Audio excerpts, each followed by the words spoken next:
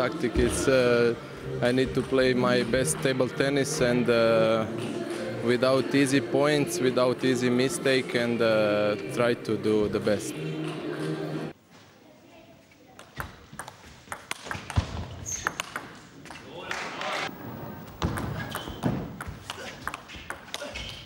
hvor møder en så god spiller som Slager, det, det er godt stille til lidt problemer engang imellem.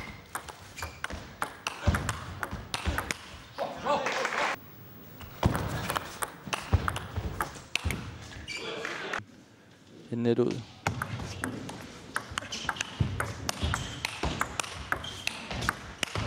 Nej, det er klasse. af verdens øh, første sæt. Bedste duel her.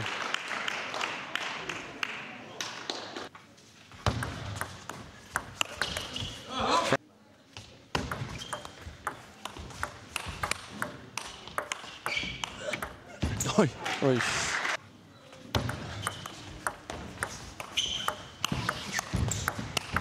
Ja, det er stærkt. Øh, Den svære bold, det er den, han sætter der. Det er rigtig godt nu igen. Og så lige...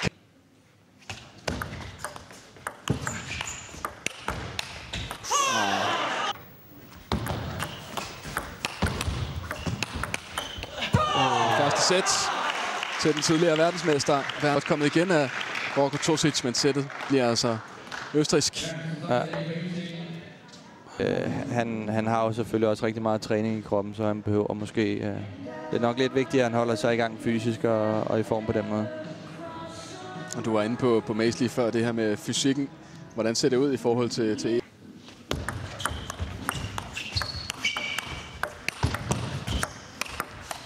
Ja, man må ikke skyde. Det var jo en ændring, der kom i servereglen for, ja, jeg ved ikke, nu var mange år siden.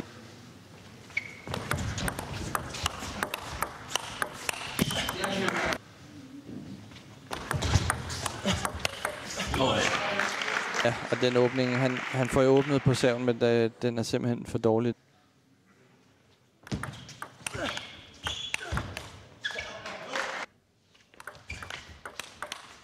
Godt spillet.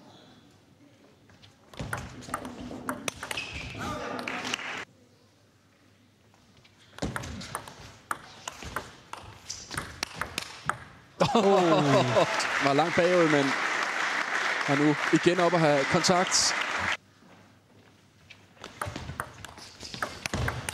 Så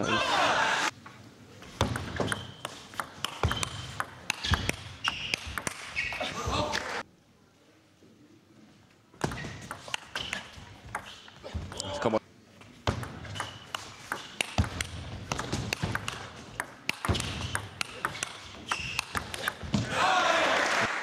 Og det, det er ligesom, Slager bliver, han prøver desperat at blive stående tæt inde ved bordet. Tosic.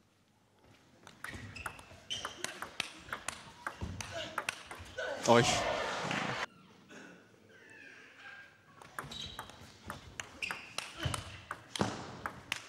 Uh, gør han her.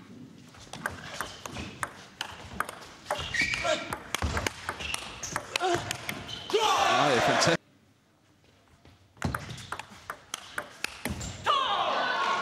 En, øh, fejl på den sav.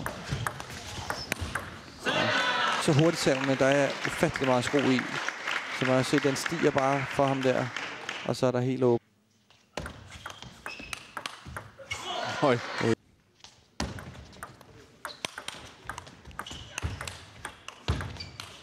Ah, det er stærkt.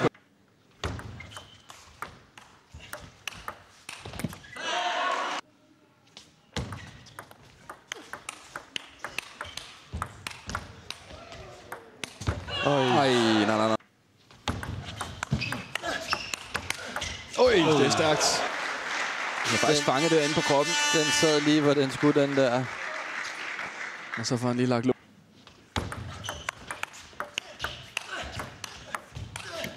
Det er så, tror jeg.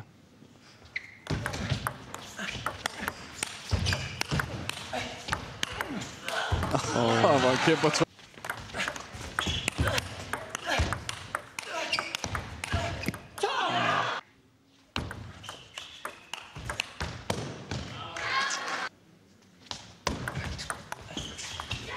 Og det her hul får han altså ikke fightet sig ud af, Roko Tosic. Flot indsats fra den debuterende kroat her i Roskilde for vist gode fighter. Tosic, what was the biggest difference between you and Werner Schlager today?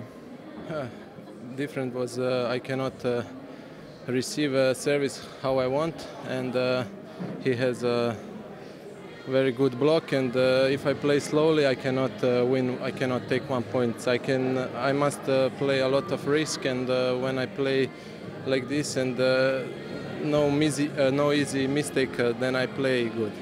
Especially in the first set, it seems like you make a lo- made a lot of unforced errors. Why is that? Yes, uh, first set I don't know why. Maybe because uh, I'm a new one here, and I feel uh, also uh, a little bit pressure and uh, m- many easy mistake. And uh, against Werner, if you if you play like this, you don't have chance. You're down uh, zero to, to two right now. Do you think you can, can win this match between uh, you and, and Nieder Österreich? Uh, it, it will be very difficult, but uh, uh, I think uh, we need to, we must try, and it's, it will be very difficult. But chance it's always. Thank you.